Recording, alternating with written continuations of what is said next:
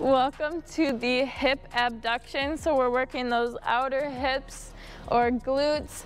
Check out the QR code if you have more questions. So I picked my weight.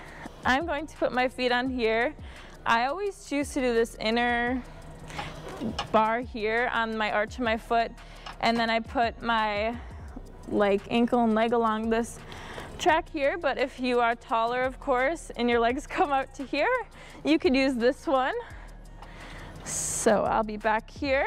You can sit back and we're gonna try and push out with those knees. So we're using the hips, push it out and slowly back in.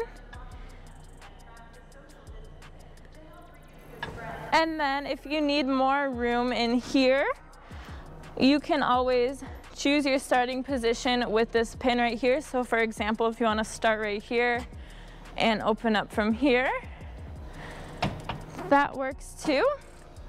One more way I like to use this machine is sitting forward with my butt on the edge of the seat.